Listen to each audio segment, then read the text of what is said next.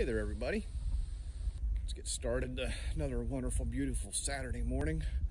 I mean, just check this out.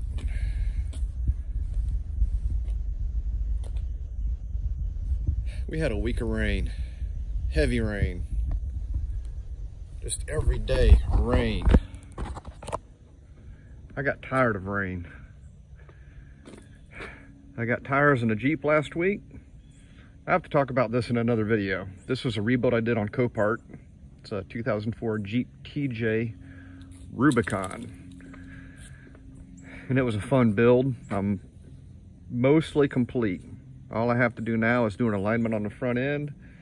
Let y'all do a video on that. And then figure out what I'm gonna do with the bumper. I need to do some driving with it and articulate the suspension to see if I have any rubbing with these tires.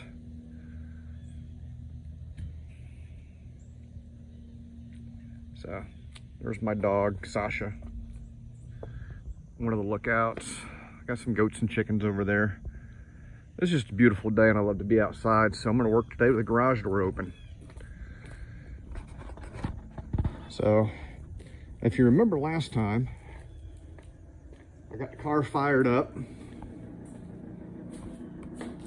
It actually started on the second try. So it wasn't running quite as well as you would want, but it had been sitting for 20 plus years. That was Lily.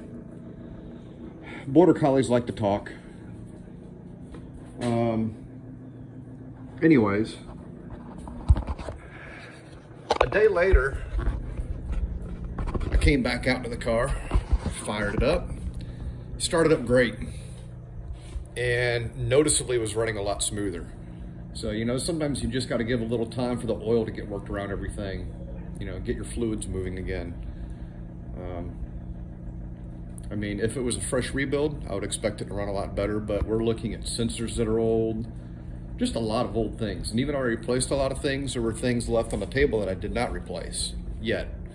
So I'm gonna address a little bit of that today. Um, I got a few things in. I needed some more coolant. I got a kit so I can burp the system. Cap and rotor. Got a new idle airspeed controller, as well as a throttle position sensor. A little bit more seafoam. I put the recommended amount in the oil. What I'm gonna be doing is, after a few heat cycles, I will change the oil. Uh, the oil was changed beforehand. I figured I didn't need to have all that in there. It's kind of rudimentary. Um, but I'm gonna let this oil with the seafoam circulate through a few heat cycles. Then after that, I'm gonna drain the oil again, and I'm gonna use a little bit of the rear main seal. Um, I used to think this was snake oil until I ended up in a situation with, um, it wasn't an engine, but it was like a shock, absor shock absorber type of thing that had some rubber seals in it. And what I ran into with the rubber seals is that I couldn't get them anymore. So I drained all the oil out of it and I actually put straight main seal liquid into it. I didn't use it. It's a little thicker than the oil I was using. And well, I used all but about a few ounces, which is really all I would have needed in the first place by their recommendations. Uh, I gave it a week. I drained everything out, uh, filled it back with the proper fluid, put a little bit of that main seal stop because it, what it's really doing is it's helping rejuvenate the properties of the rubber seals. And sure enough, um, problem solved. So it was a good item to check it out on. Um, there again, I thought it was snake oil, but I'm a believer now. So my purpose for this is not just the main seal, which does have a very small leak, but also, you know, you got the valve seals. This is a 195,000 mile car. I don't believe the motor has ever been replaced. Um, surprisingly, when it started up, I did not get a big cloud of smoke or anything. As I've started it a few more times through the week, I've not gotten any smoke out of the exhaust. I thought, I really expected to see a little bit of blue smoke from oil leaking past the valve seals, but I have not. So I'm rather impressed with that. Um, the only thing that I had really coming out of the exhaust was a lot of little nutshells. Squirrels and mice had been making nests down the exhaust of this car for quite some time. Um, luckily, so far, I haven't had any encounters with mice chewing up wiring, thank goodness. Um, I had some mice that were in the air ducts under the footwells, apparently. I'd, I'd seen some spots of a few mouse droppings, not much, and a little bit of paper towel shreddings that had gone into the air ducts. The other thing I had not mentioned when I first opened this car up to bring it home was as soon as I opened up the passenger side door was the four foot long snake skin I found that looked like a typical black snake or king snake. So apparently he smelled the, the mice living in the car and went in and took care of it for me and then vacated. Uh, it was a little creepy going in there with a snake skin, but I never found the snake. He never found me. Uh, I, guess we both went our separate ways. He went on to bigger and better things out in the field somewhere with more mice. All the power to him. Snake may have saved the car from electrical damage. Who knows? Um, but that's what we're going to do today is idle airspeed controller, top off the coolant, and throttle position sensor along with the cap and rotor. And something I'm sure some people have noticed while I'm doing my work, I usually have a YouTube channel on. Right at the moment it, it is My Corvette Life. He's actually doing a video right now on the exact same thing we did on the second video, which is nasty fuel, nasty fuel pump, the fuel pump assembly being rusted in two pieces. Honestly, when that video came up, I was having a moment where I thought somebody might have taken some of my content because it looked exactly like what I went through two weeks ago. It was eerie, so I dropped them a message and said, hey, check my channel out. So check that out. Um, he's doing a Callaway twin turbo right now, basically. Uh, somebody else has got a black Corvette. He's got a black 1984 Corvette he's working on right now. It's Daredevil 7442. He's got some really good content on there. He does some really good how-tos. Um, so check him out. Uh, I follow him. I follow both of these people because I like seeing what's going on with the Corvettes. And it's kind of cool because we're all doing it at the same time right now. So check it out. Uh, subscribe, like all our pages. Um, so I'm going to get started. Hey there, it's me. So made a little bit of progress here on the idle airspeed controller was the first thing I was getting into. I'm not doing a ton of how-to videos because there's already a ton of how-to videos. So if I'm doing something different or I catch something that I haven't seen in these videos, then that's when I'm more prone to point it out. Um, so with the idle airspeed controller, everybody talks about just using a pair of vice grips to take that thing off. And I guess some cars, you, the clearance isn't as tight with the throttle body and the fuel rail underneath it. But on mine, I couldn't get a grip on it. Um, what I ended up doing was just taking the four 10 millimeter bolts that hold the throttle body to the intake runner off. And then I could get a little bit of movement on it. And then it, it gave me the clearance I needed to get the thing cracked loose and, and spin it off. The other thing I came to notice was that it had been changed before. It was nasty, but it had not one. They come with a gasket. It came with not, it had not one, but two gaskets between it. So I don't know if that would have affected my idle. My idle was going up and down significantly.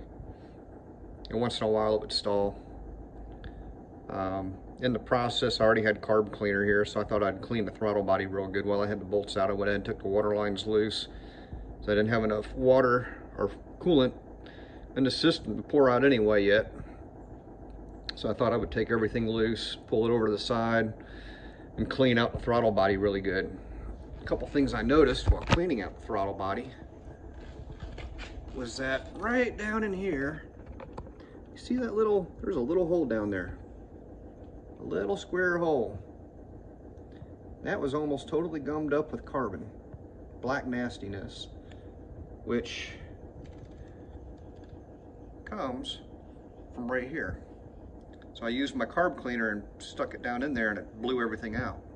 So you follow the channel, channel comes out and goes to the vacuum line. The vacuum line also was totally gummed up.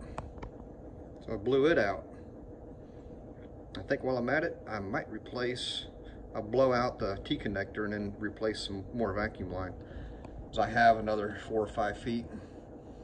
I replaced some of the vacuum line on a car already. But that's what I'm finding so far. I'll show the other.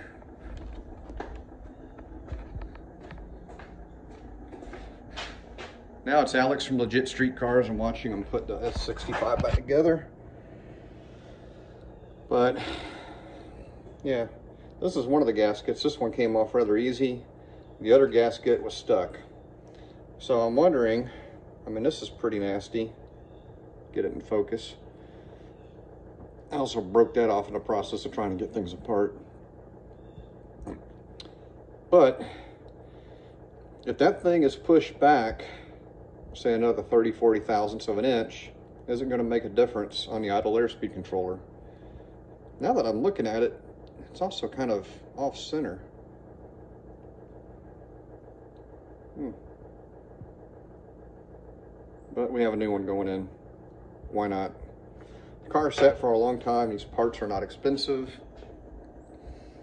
Um, if this was, you know, a normal running vehicle, I'd go, I'd do more diagnostics on individual items, but with it being a 1985, a lot of stuff never being replaced, and it's sitting for so long, I really don't mind changing out things and going with new.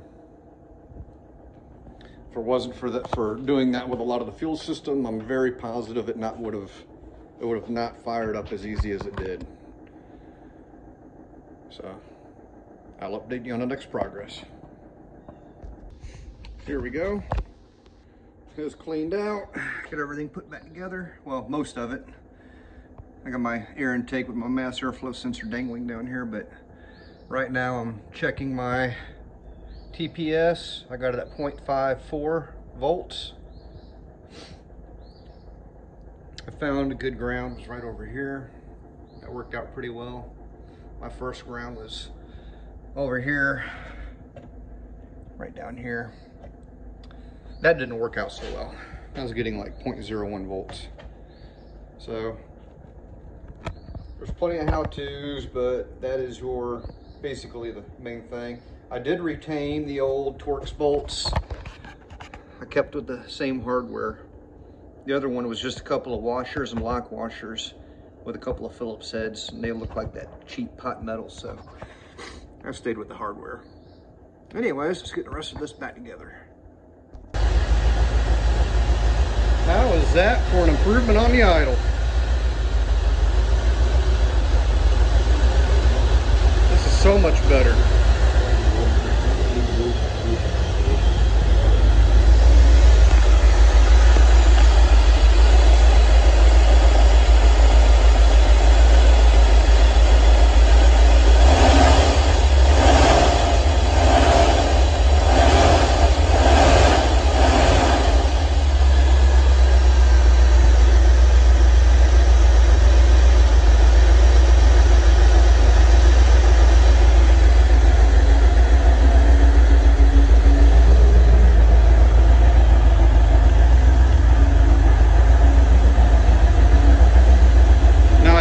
gauges.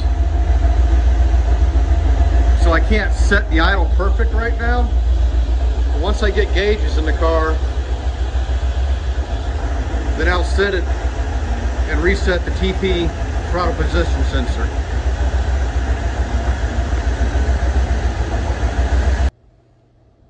Well, I'm gonna call it a day.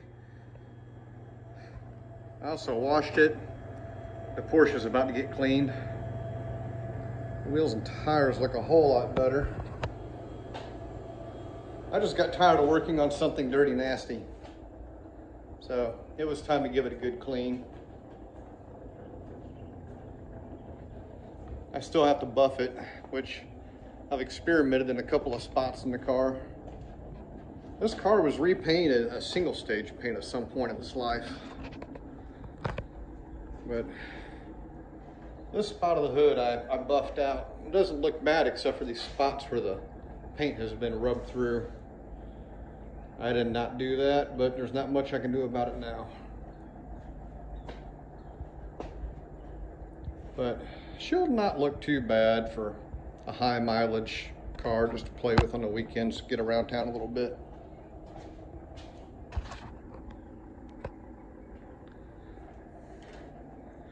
So far I'm happy with it. I just wish the dash would work.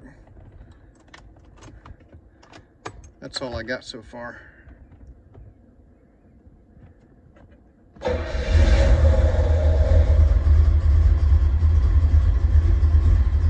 The idle seems a little bit low.